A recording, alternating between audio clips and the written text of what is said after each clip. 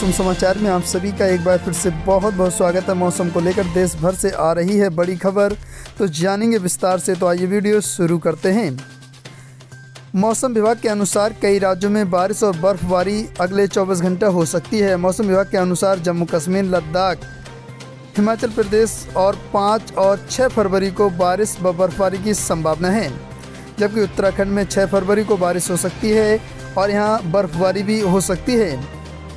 वहीं आपको बता दें 8 फरवरी की रात में आने वाले वेस्टर्न डिस्टरबेंस के चलते पश्चिम हिमाचल क्षेत्रों में 8 से 10 फरवरी के दौरान बारिश व बर्फबारी होने की संभावना है। इसके अलावा अरुणाचल प्रदेश, असम और मेघालय में 6 और 7 फरवरी को आंधी तूफ़ान की चेतावनी जारी कर दी गई है। आपको बता दें उत्तर पश्चिम भारत के राज्यों में अगले 24 घंटे में न्यूनतम तापमान में 2 से 3 डिग्री सेल्सियस की बढ़ोतरी हो सकती है, जबकि इसके बाद दो दिनों तक तापमान नहीं बदलेगा। वहीं फिर से दो चार डिग्री तक तापमान बढ़ सकता है। आपको बता दें, इसके अलावा मध्य भारत में अगले तीन दिनों तक तापमान दो से चार डिग्री सेल्सियस तक गिरने की संभावना है, जबकि बाकी जगह पे अगले पाँच दिनों तक तापमान में ज़्यादा बदलाव आने की कोई उम्मीद नहीं है।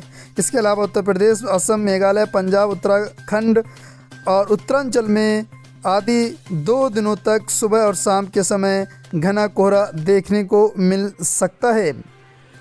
आपको बता दें, उत्तर प्रदेश के लगभग 25 जिलों में सात और आठ फरवरी को बारिश हो सकती है।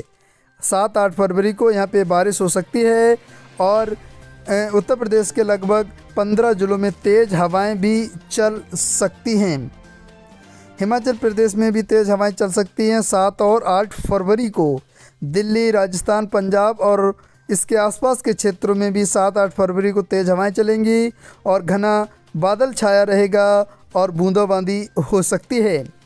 ये मौसम समाचार आज के हैं। रोज़ाना मौसम की ताज़ा खबर जानने के लिए आप हमारे चैनल को सब्सक्राइब करें। धन्यवाद।